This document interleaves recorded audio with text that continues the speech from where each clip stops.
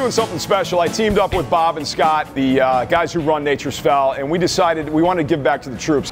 People who know me, I- I'm a really big fan and supporter of our troops, the men and women who serve in the armed forces, and uh, I'm always trying to do whatever I can to give back to them. At Nature's Fell, it's as much about the process as it is the final project. Giving a fallen tree a second life is an extremely rewarding process.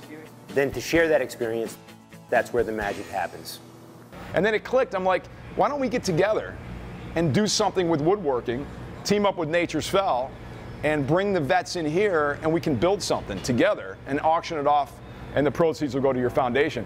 So, uh, you know, perfect. So we teamed up with a uh, organization called American Warfighters Foundation. My name is Patrick Carney. I'm an eight-year Army veteran. I did two deployments to Iraq during my eight years of service. Uh, once I separated, I kind of was lost in the shuffle of, of life, and I got involved with a, an organization that, that started me off golfing. A program like this takes the veteran's focus off of every all, all the all the stuff he's been through and puts us on this little on this little white ball. And, and anyone who's a golfer knows how frustrating and, and wonderful that white little white ball can be. It, uh, it can truly change your life and give you all, all new perspective on things. And then once that organization closed down, I, I decided that uh, this kind of program needs to continue. So the American Warfighter Foundation was born. We uh, specialize in athletic rehabil- rehabilitation for wounded warriors of any type physical injuries, mental injuries, post traumatic stress, loss of limb, you name it.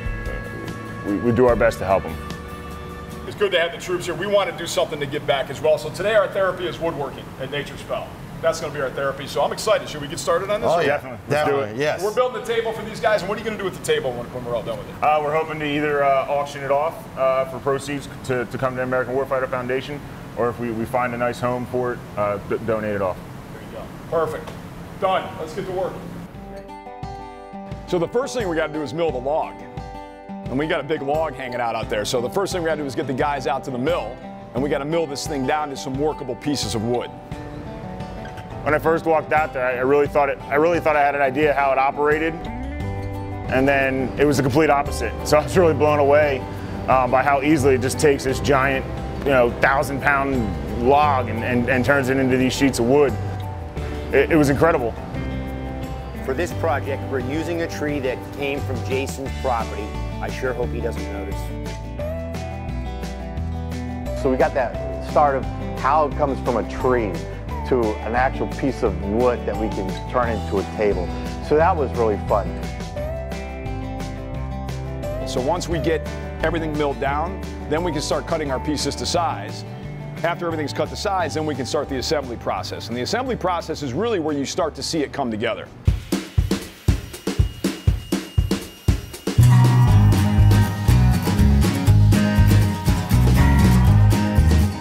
Right now, the guys are uh, marking up for the biscuits. So we're gonna go ahead and biscuit join. We're gonna glue this up and we're gonna use these uh, biscuits to join them. What this does is not only give extra support, but they also give lateral support. So they keep the boards from doing this. So these biscuits are really important. So we've got four on each seam. So they're marking those out right now. And you guys are good, right? Yeah. Good to do it. So now we're good to actually uh, go ahead and use the machine and we're gonna create the little uh, pocket for the biscuit right now.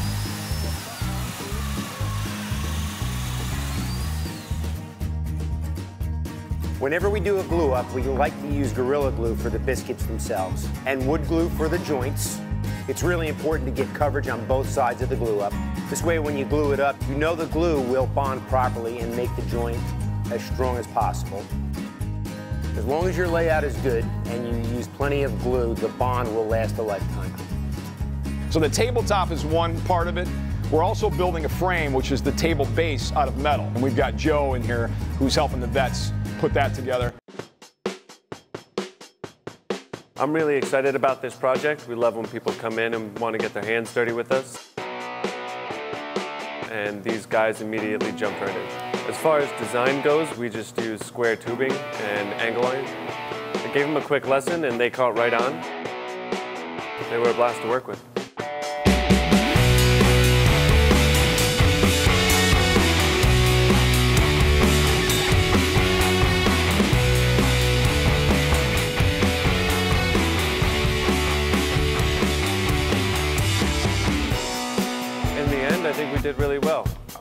Blast hanging out with these guys, and I really hope we get to do it again. So we had a friend of ours, Joe Roth. He used the CNC machine to create the flag for us. So we need to we need to actually inlay that into the table. All right, buddy. Here you go. This is all dry, ready to sand. So all you need to do is just take that black off the top, and then we'll leave it in the grooves. Okay. Get it nice and clean, and then we'll go ahead and we'll mark up on the table to inlay it. Okay, All right, great. it's all yours. Yeah,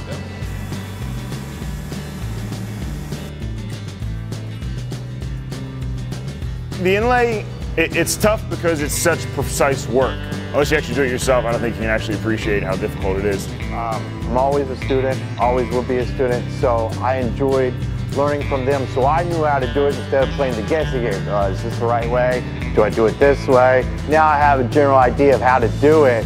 So it'll be fun to when I get my tools and, and start doing it myself. I think we did really well. I mean, the inlay went right in. Uh, one little boo-boo, but uh, Scott fixed it for us, and uh, it really came out amazing. What you doing, Jay? I'm measuring up the legs to where they're going to insert into the metal tube. Right now they're a little too big, so we've got to round over the edge to match the uh, metal, and then we got to sand them down enough so that they are snug going in. So we got a little fine tuning to do on these.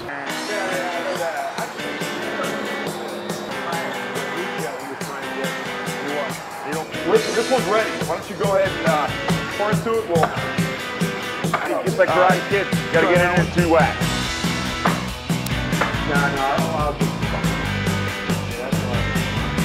You recognize that green? It's kind of like a moss green. Yeah, that tabletop on. What? Yeah. Like it's three and a quarter each. The real, what you to do, Jay? You got to look down.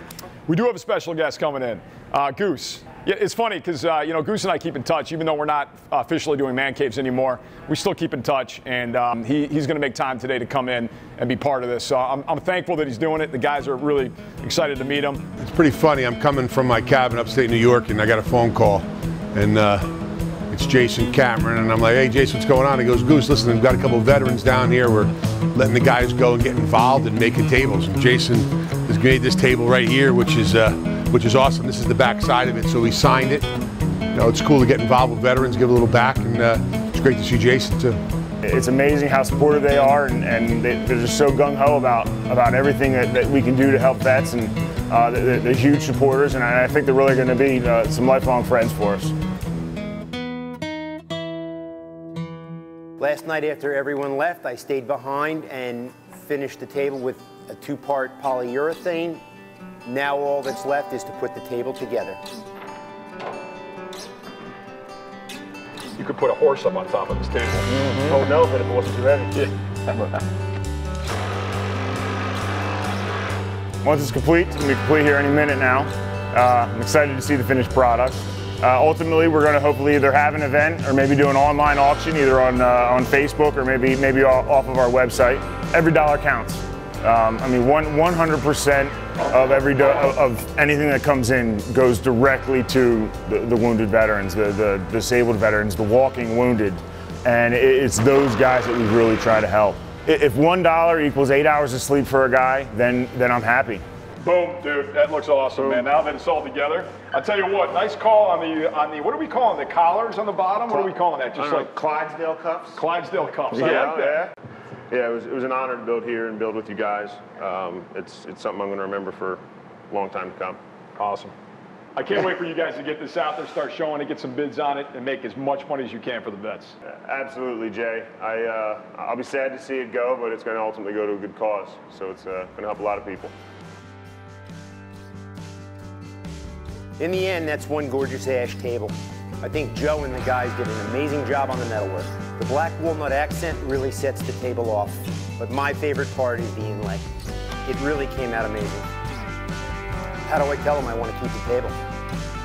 Thank you, man. You guys, you guys are incredible. Good to be a part of the Thank you very much, man. Thank Awesome. you. Really nice to meet you guys. Thanks so much, Scott. All right, should we load it up? Yeah, let's Yeah. do it. Let's load it up. Let's do it. Who's got the forklift? Yeah. Yeah. yeah, the overall experience was incredible. I mean, I, listen, I love coming to Nature's Fell. That's a given because these guys are right. This, they do what I love to do, and they've got a great shop. Combining that with the vets and this great organization, American Warfighter Foundation and Patrick, it's just a win-win because it's just seeing the vets work with their hands and and how much they enjoyed it. This is great therapy. I- I'd like to thank Jason Cameron, J- Jason Cameron, and, and Nature's Fell for having us out. It has been truly a, a, a amazing experience. Uh, I'd like to thank everyone out there who's, who supported us and, and got got us to this point. Um, I, I, it is my hope that, that this event, that this this build is going to take us to that next level. It's going to be the, the, the, the straw that, that breaks the camel's back and, and really gets us to that next level. Uh, to be able to have 30, 40, 50 guys at a time go through the program. That, that's, and that's my dream. You know, to bring guys in from multiple states, right down to the South Jersey, because it's such a huge tourism area. Have them enjoy South Jersey, play some golf, maybe hit up the casinos, whatever we're going to do. Have a great time, go home happy.